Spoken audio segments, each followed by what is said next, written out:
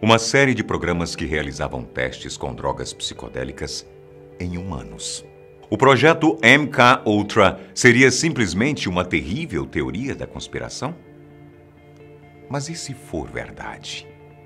Deixe o seu like e se inscreva no canal. Ative o sininho antes que a CIA domine a sua mente.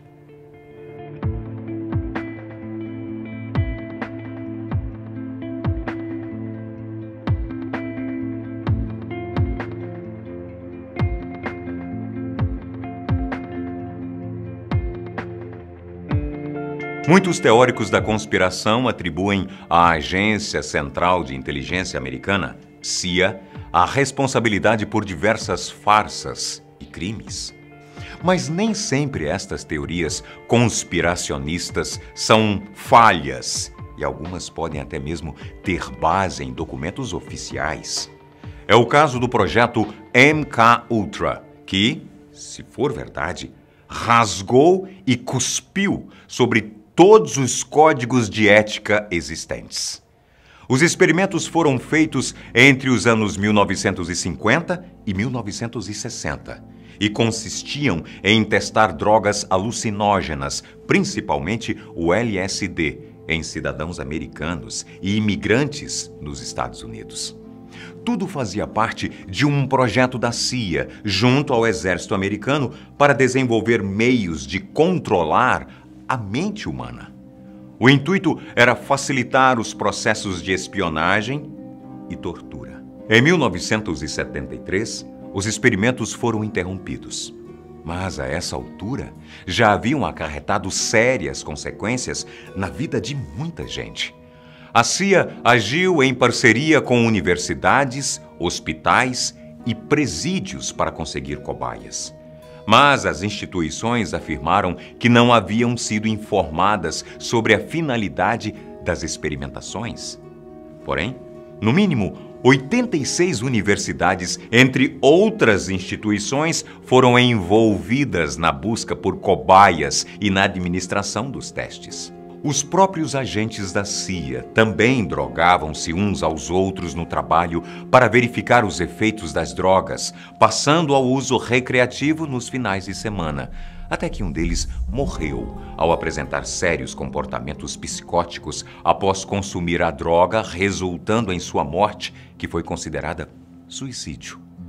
Alguns experimentos incluíam privação sensorial, abuso psicológico e uso de anfetaminas para sedação das cobaias antes de utilizarem doses pesadas de outras drogas, a fim de que isso os tornasse vulneráveis e capazes de contar qualquer segredo.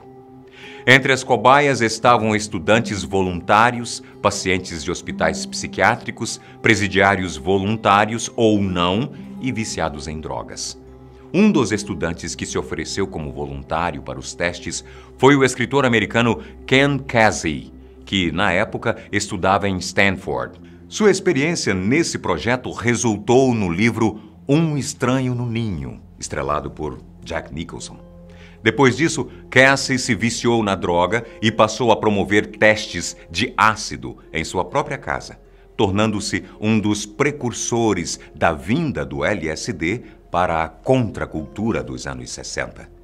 O tão desejado soro da verdade que a CIA buscava não foi obtido, e o resultado do projeto foi o acesso a drogas que puderam ser encontradas pelos jovens da época e que deram início ao movimento libertário de contestação dos anos 60 nos Estados Unidos. Tratava-se da contracultura, onde filosofia, arte e luta pela paz faziam parte de protestos, músicas e livros, sempre motivados com uma ajuda extra do LSD.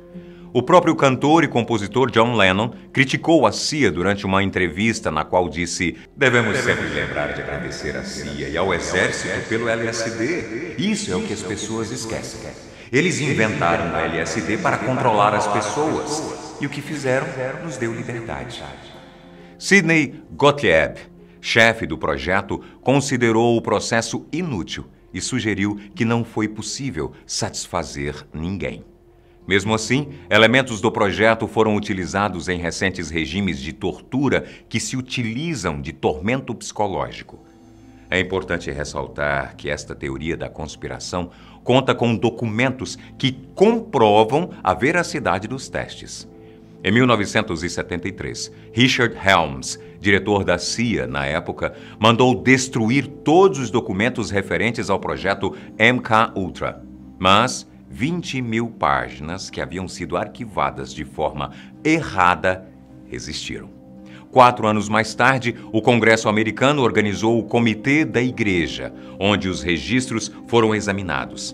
A partir daí, se descobriu que os presidentes Gerald Ford, Jim Carter e Ronald Reagan proibiram qualquer experimentação humana sem consentimento do governo e pagaram indenização a vários dos prejudicados pelos testes. Até onde se sabe, pelo menos duas pessoas foram mortas após terem sido drogadas durante os experimentos. As vítimas fatais foram Harold Blower e o Dr. Frank Olson, que era um cientista do exército americano que estudou técnicas de desenvolvimento para uso ofensivo de armas biológicas para a CIA. O cientista fez parte de uma conferência em 1953 em Maryland na qual agentes da CIA adicionaram LSD às bebidas dos cientistas e informaram o que tinham feito somente depois que todos estavam drogados. Depois disso, Dr. Olson começou a apresentar sintomas de paranoia e esquizofrenia. Foi levado para ser tratado em Nova York, mas caiu da janela do décimo andar. Não há registro de investigação da morte dele, apesar de estar acompanhado de um agente da CIA no momento em que ocorreu. Os danos psicológicos e o verdadeiro número de mortos em consequência do projeto MK Ultra não podem ser confirmados devido à destruição da maior parte dos registros, além da ausência de métodos científicos durante boa parte dos testes. Mas por que os americanos precisavam desenvolver uma droga capaz de trazer à tona os piores segredos de quem fizesse o uso disso? A droga funcionaria como uma espécie de arma biológica para defendê-los contra inimigos de guerra que não tivessem o profundo conhecimento de suas técnicas. A ideia inicial era de que o produto promovesse o efeito intoxicante do álcool facilitando a indução da hipnose e melhorando sua eficácia. Além de aumentar a resistência física do torturado durante interrogatórios, ao mesmo tempo que imobilizasse membros do corpo, mas que possibilitasse melhores resultados também na lavagem cerebral. Boa parte dos testes, principalmente no começo do projeto, não contavam com médicos na administração dos medicamentos ou na observação de seus efeitos. Muitas cobaias adoeceram e foram hospitalizadas por conta disso. E mesmo tendo sido letal em alguns casos, não foi o suficiente para que a CIA parasse com a experimentação. Trabalharam neste projeto 185 pesquisadores e assistentes não governamentais. Entre eles, médicos, toxicologistas, psiquiatras e especialistas em narcóticos. Todos atraídos pela concessão de subsídios oferecidos pela CIA sob a fachada da Fundação de Pesquisa MK Ultra. Doze hospitais participaram do projeto e em alguns deles os testes foram feitos em pacientes com câncer em estágio terminal. A suspeita é de que previam-se efeitos prejudiciais duradouros ou mesmo letais. Supõe-se que tanto pacientes quanto instituições eram pagas pela CIA para que aceitassem os experimentos. Foi o caso do Subprojeto 23, de agosto de 1955, no qual foi autorizado o pagamento de despesas hospitalares de alguns pacientes com câncer incurável, em troca de serem usados como cobaias para o estudo dos efeitos dos produtos químicos. Nas prisões ocorria o mesmo, porém de maneiras diferentes. Alguns prisioneiros concordaram em participar dos testes em troca das drogas nas quais eram viciados.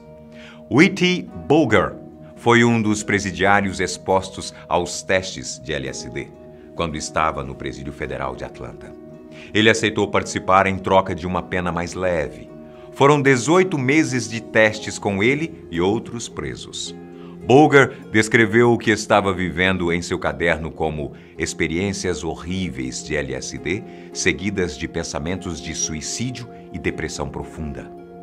O fato de não poder pedir ajuda ou contar para ninguém o que vivenciava agravou ainda mais a ansiedade e os efeitos da droga sobre o presidiário. Ele temia que, ao contar sobre os seus delírios visuais e auditivos, devido aos testes, fosse levado para passar o resto da vida em um manicômio. Em seu caderno, ele também escreveu: Eu estava na prisão por cometer um crime e sinto que eles cometeram um crime ainda pior em mim. Em 2013, outra cobaia do MK Ultra, Robert Hunter, em entrevista para Reuters, disse que não conseguia entender por que estavam lhe pagando para tomar psicodélicos e o que queriam era verificar se ele estava mais hipnotizável quando estava sob o efeito da droga. Hunter era cantor e compositor no grupo Grateful Dead nos anos 1960. Ele foi o primeiro de seu círculo social a experimentar o LSD, que só chegaria ao uso recreativo dois anos depois de estar sendo testado nele e em todas as outras cobaias de que falamos aqui. Apesar de toda essa pretensão de descobrir um método capaz de explorar qualquer segredo, não foi a CIA que desenvolveu o LSD mas foi ela quem o utilizou como componente nesse projeto extremamente antiético.